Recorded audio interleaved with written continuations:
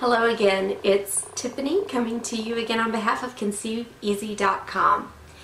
And right now we're going to talk about how to get this show on the road and get pregnant fast. There are a handful of tips I can share with you, um, but it is important to know if you really want a family, um, it's going to happen for you in its own time and at the right time. But there are things you can do to try to make that happen a little bit faster. The first and most important thing, and I say it in almost every video that I do, is to know when you're ovulating. Take the time to chart your cycle and know when you're ovulating. Again, if there's not an egg there to meet, the, if there's not a sperm to meet the egg when you ovulate, you just ain't gonna get pregnant. That's just how it goes. Um, so that's very, very key. Um, the second thing is to know that sperm can survive in your body for a few days so if you are just getting started and you're you're charting your cycle but you don't have it nailed down yet, you don't know exactly when you ovulate, a good rule of thumb is to have sex every other day. Why every other day? Well, because first of all, having sex every day, that's not as much fun as it sounds. You will be worn out and not very happy by the end of the month.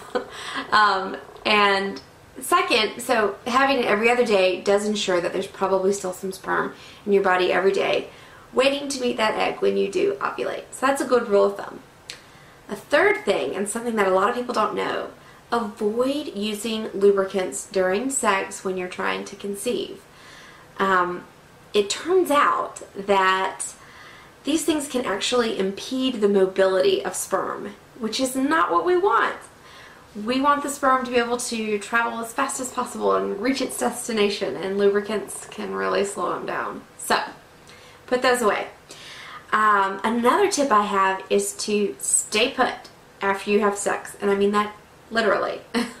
um, lay in bed for about 15 minutes. There has been a study that showed um, for women who were going through artificial insemination, those who laid still for 15 minutes after um, their procedure were 50% more likely to conceive than those who didn't.